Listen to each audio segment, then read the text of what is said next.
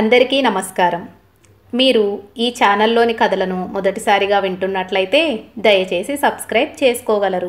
ఇంకా మంచి మంచి కథలను వినదలుచుకుంటే ఈ ఛానల్లోని పాత వీడియోలను సందర్శించగలరు. ఈరోజు మనం చెప్పుకోబోయే కథ పిసినిగొట్టు.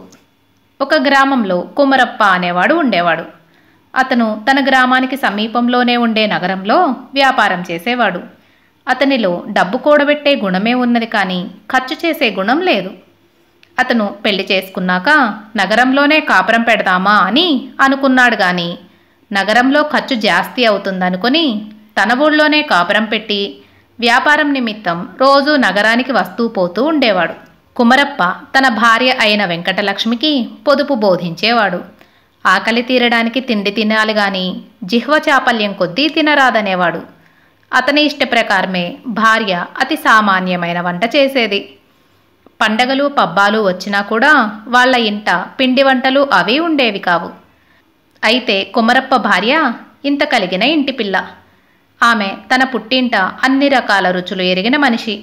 భర్తకు జంకి పేదగా తినటం మూలాన ఆమెకు నోరు చవి చచ్చినట్టయింది.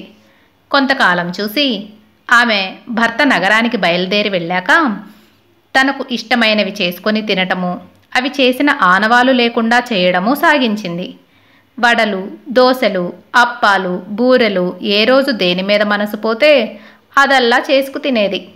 ఆమెకు డబ్బు సమస్య లేదు. ఎందుకంటే కుమరప్పకు తన భార్య మీద ప్రేమ విశ్వాసము ఉండేవి. ఆమె కూడా తనలాగే డబ్బు కూడబెట్టే మనిషి అనుకునేవాడు. ఒకనాడు కుమరప్ప నగరం నుంచి బాగా చీకటిపడి తన గ్రామానికి తిరిగి వస్తూ తన పొరుగున ఉన్న ఇంటివాడు పలకరించేసరికి ఆగాడు. ఇవాళ మా ఇంట్లో పూజ చేశాం. ప్రసాదం తినిపో. నీ భార్య చేసే వంటకాలంత బాగుండవేమో అన్నాడు పొరుగింటివాడు. రెండు గారెలు తెచ్చి ఇచ్చి. నా భార్యకు మామూలు వంట తప్ప పిండి వంటలు చేయటం రాదే అన్నాడు కుమరప్ప ఆశ్చర్యంగా. అదేమిటయ్యా? నీ భార్యకు రాని పిండి వంట ఉందా? రోజు మాకు రకరకాల పిండి వంటల వాసన వస్తుంది కదా నా భార్యకు అలాంటి వాసన తెప్పించడం కూడా చేతగాదు గారెలు పెసరట్లు బజ్జీలు నీ భార్య దగ్గర నేర్చుకోమని నా భార్యకు చెప్పాను. అన్నాడు పొరుగింటివాడు. అలాగా అంటూ కుమరప్ప తన ఇంటికి వచ్చేశాడు. అతనికి తన భార్యను గురించిన అనుమానం పట్టుకుంది. కానీ అతను తన భార్యను ఏమీ అడగలేదు. తానే స్వయంగా అనుమానం తీర్చుకోవాలని నిశ్చయించుకున్నాడు. అందుచేత మర్నాడు అతను నగరానికి బయలుదేరినట్టు బయలుదేరి కొంత దూరం వెళ్ళి తిరిగి వచ్చి దొడ్డిదారిన లోపల ప్రవేశించి ఒక చీకటి మూల దాక్కున్నాడు. ఆ రోజు వెంకటలక్ష్మి పెసరపప్పు వేయించి పాయసం చేసింది. కొంచెం బియ్యం నానబోసి రుబ్బి బెల్లము కొబ్బరి యాలకులు చేర్చి అప్పం చేసింది. వీధిన చెరుకు గడలు అమ్ముతుంటే ఒక గడ కొన్నది. అప్పాలు తిని పాయసం తాగి చెరుకు గడ తరిగి ముక్కలు చేసి అన్నీ తినేసింది. తర్వాత పిప్పి అంతా జాగ్రత్తగా పోగు చేసి దూరంగా పారేసి వచ్చి గిన్నెలు రోలు శుభ్రంగా కడిగి తాను పిండి వంటలు తిన్న ఆనవాలు ఏమాత్రమూ లేకుండా చేసింది. ఆమె ఈ పనులలో నిమగ్నురాలై ఉండగా కుమరప్ప బయటకి జారుకొని తన కాలికి ఒక బట్ట కట్టుకొని కుంటుకుంటూ ఇల్లు చేరాడు. భర్తను చూడగానే వెంకటలక్ష్మి ఆదుర్దాగా కాలికి ఏమైందండి? అని అడిగింది. ఏం కావాలి? పాము కరిచింది అన్నాడు కుమరప్ప.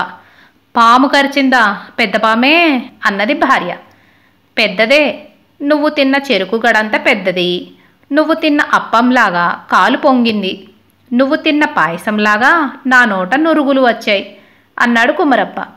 వెంకటలక్ష్మి తన రహస్యం బయటపడిందని చాలా భయపడింది.